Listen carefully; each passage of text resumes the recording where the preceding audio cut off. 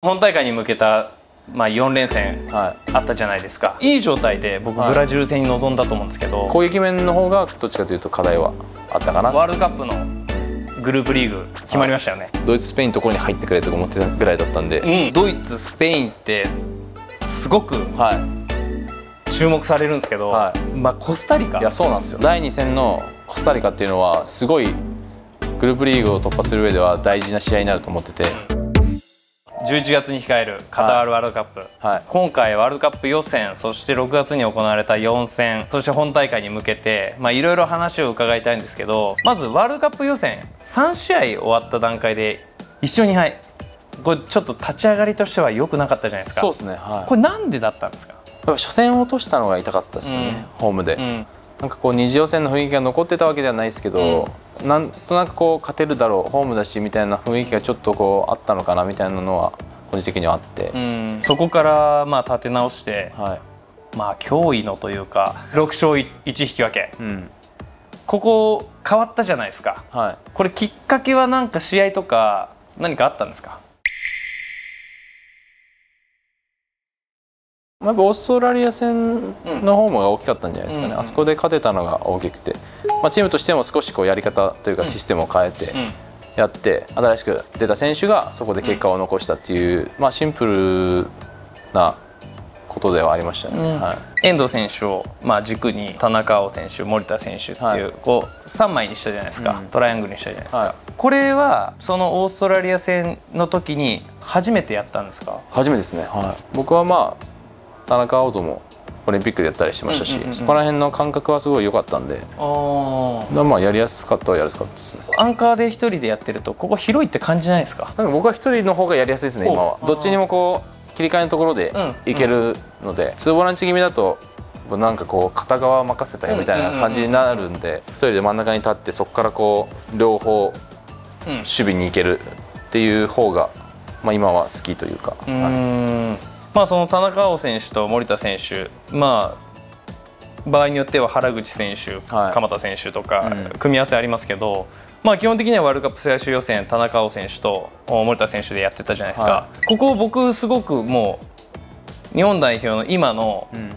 まあ、要だなというか武器だなと思ってるんですけど、はい。この2人との関係性は結構スムーズにいい感じでできてるんですか、まあ、話す機会もやっぱり増えましたし、うん毎試合相手によってじゃあどういうふうにプレーしようかみたいなことは結構3人で話したりもするんですけど、うん。感覚的に多分ボールのその受け方とか、なんかそういう立ち位置とかをお互い気にしながらみんなプレーできるんで、うん。ポジションも入れ替えながらもできやれるっていうのはすごく、うんうんまあ、今のさその3人の強みではあるのかなと思います。あのワールドカップ出場を決めたオーストラリア戦、この試合に今は勝利してワールドカップ出場が決まったわけじゃないですか、はこの時は心境はどうでした？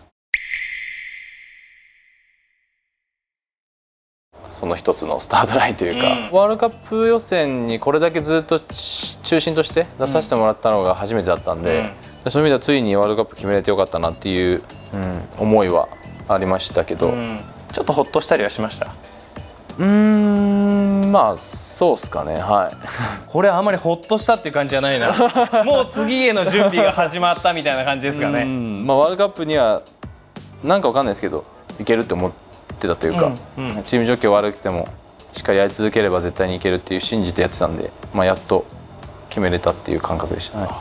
でこの本大会に向けた、まあ、4連戦はい。あったじゃないですか、はい。パラグアイ戦、はい。えーまあ、勝利して迎えてパラグアイ戦はその、まあ、相手の強度も含めてどうだったのかっていうのはありますけど、でもいい状態で僕はい。ブラジル戦に臨んだと思うんですけど、遠藤選手ご自身どう映りました？ブラジル。強かったですねやはり、うん。そのブラジル人の良さをやっぱり一番分かってるっていうか、なんかその嫌なプレーというか彼らの良さを最大限引き出せるサッカーしてるのかなみたいなのは感じて、でも個人的にもそんなに内容的にはなんかこう特に前半とかのん。やっぱ押し込まれた中でもしっかり最後守るみたいなところは、うんうんうん。あのある程度こうポジティブな要素は多かったのかなっていうふうには思ってるんで攻撃面の方がどっちかというと課題はあったかなっていう感覚ですね。はい。じゃあなんかこうワールドカップに向けてのヒントというかうんいい試合だったっていう感じですか？そうですね。はい。あああいう上のチームに対してはどうしても相手の時間帯になることっていうのはあると思うんで、うん。そういった時にしっかりこう後ろで守るようなところを、まあ、見せれたっていうのは一つ。うん。うん自信にはなったかな。とでもあれペナルティーじゃないですよね。じゃないかなと思うんですけどね個人的には。いやもう僕もあれはペナルティーかなって思ったんですけど、うん。まあ、でもああいうところもちょっとしたもう一歩じゃあ自分が先に、うん。うん。あの体入れれたらとかもう少し先に帰ってれば多分ああいうプレーにならなかったのかなとかっていうのは思いますけど。うん。まあ、そしてガーナに勝利して、まあ、チュニジア戦、うん。相当日本を研究してたんじゃないかなっていう、はい。まあ、その中で3失点して、まあ、負けるわけですけど、はい。まあ、この試合でこう見たものとか、はい。得たものとか、うん。まあ、問題点とか、はい。まあ、言える範囲でうん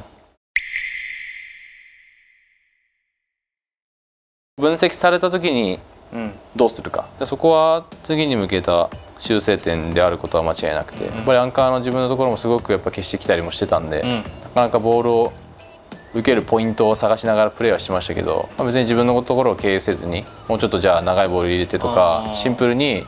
もうちょい裏のボール入れてもよかったのかなとか、うん。攻撃面はそういううーんのもあの思ったりはしたりしましたね。レベルがこう上がってきた時に、うん自分たちがどういう風なその攻撃の良さを出させ出せるのかみたいなところは、まあ、課題だと思います。はい。まあ、そそしてあの最後になんですけど、はい。ワールドカップのうんグループリーグ決まりましたよね、はい。えドイツ、はい。コスタリカスペイン、はこのグループを聞いて率直な印象感想どうですか？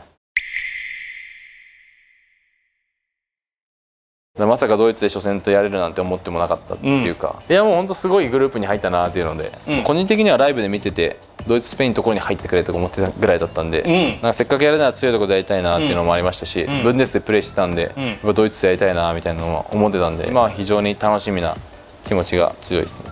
ドイツ強いですか？うーん、まあ、強いとは思います、はい、やれるイメージは自分の中ではあるんですけど。うん。スペインも強いですよね。そうですね。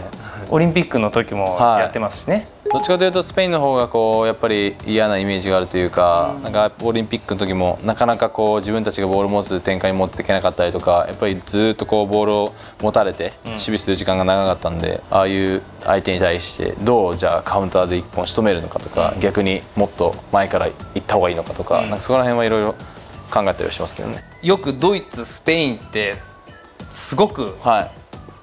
注目されるんですけど、はまあ、コスタリカ。いやそうなんですよ。は実は星取り表で考えた時に、い、はい。勝ち点3取んなきゃいけないっていう逆なプレッシャーかかってんじゃないかなと思ってて、ここは難しいです。よいやめちゃめちゃ難しいと思います、うん。個人的にもその第2戦のコスタリカっていうのはすごいグループリーグを突破する上では大事な試合になると思ってて、うん。初戦のドイツ勝ったとしても負けたとしても引き分けたとしても、そのコスタリカに勝つってことによって、うん。そのグループリーグっていうのが見えてくると思うんで、もちろんドイツ勝ってコスタリカも勝てればもちろん一番理想な展開ですけど、負けたとしても2戦目で勝てばうん。まだチャンスがあるっていうところを考えるとその2戦目の試合っていうのは個人的にすごく大事だなっていうのは思ってます。まあ、グループリーグ突破する自信は？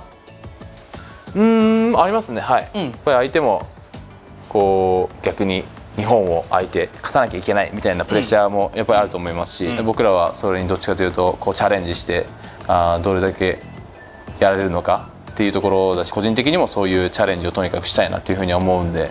ワールドカップ日本が、はい。いまあ、いい形でプレーできたとしたら、まあ、できなかったとしてもはい。この冬にですね、えードイツに渡って、まあ、原口元気選手はい。も YouTube またもう一回ね、あはいあのこのワールドカップどうだったのかっていうあ話をはいしてもらいたいなって思ってたんで、はい。ドイツに行くので、はい。もう一度その時に話してもらうことできます。はい。ずっとごとに。シュツットガルト行きますので。あいいですか。はい。ということでですね、はい。今回は遠藤航選手の、まあ、遠藤航のこれまでのサッカー人生を振り返っていただきました、えー最後にワールドカップも控えている2022-23シーズンへの意気込みをはい。最後お願いします。まあ、まずはワールドカップまでの期間でしっかり試合に出続けてまた活躍する姿を見せたいなっていうのと念願の出場すればあのワールドカップなんで、まあ、個人的にはすごい楽しみですし日本代表が強豪国相手にどれだけやれるのかどうやって勝ちに行くのかみたいなところをあの見てもらえれば嬉しいなと思うんであの頑張ります。はい。もう怪我に体に十分に気をつけて、はい。えー今シーズンも頑張ってください。わかりました。ありがとうございました。す。頑張ります。ケイトさんお疲れ様でした。お疲れ様でした。いかがでした？いややっぱりね日本の要だねこう淡々としてるし現実をしっかり見ながら着実にこうなんだろうステップアップしてきてるし半年とか1年ぐらい先のことを考えながらなんかプレーしてるんだろうなっていうのを感じますよね。キャプテンって感じしましたね。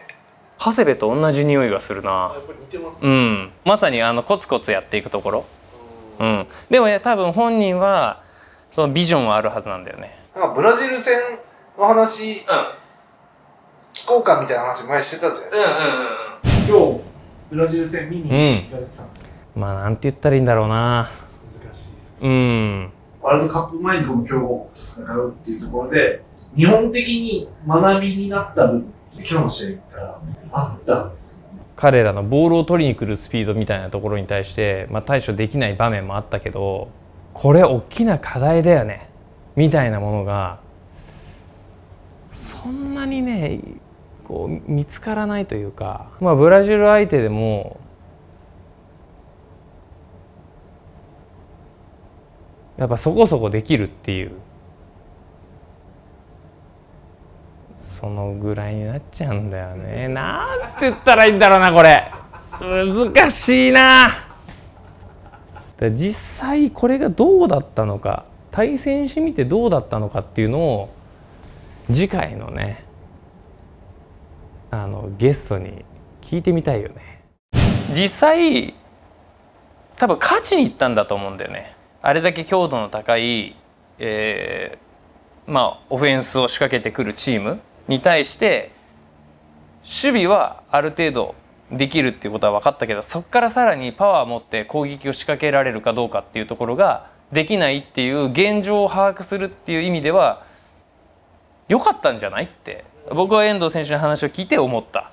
チャレンジとかっていうよりも勝ちに行った中でどれぐらいのその力を発揮できるんだろうっていうのを現状確認したんじゃないかな。グループでもなんか自信ありそうな表情に見えたんですけど。